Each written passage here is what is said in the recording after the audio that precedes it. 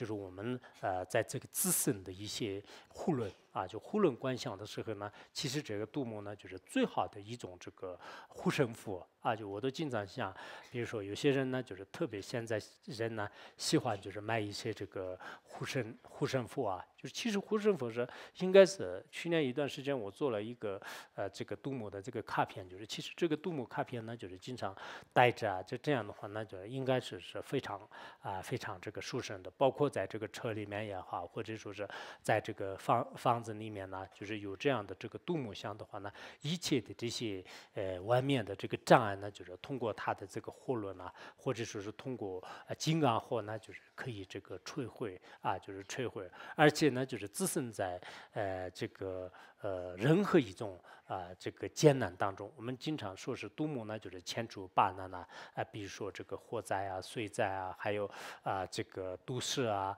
啊，还有呢就是是这个毒药啊等等，就是这这些灾难呢，就是全部都可以这个呃迁除的。尤其是我们呢呃有些人呢，就经常就是出现就是不知不觉的一些魔障，就是表面上看来的是也没有出现外在的一些。很很大的一种啊，这个威远，但是内心当中的烦恼魔，内心当中的一些障碍魔呢，就是特别严重的。那这些障碍呢，也是指念这个度母来这个可以完成。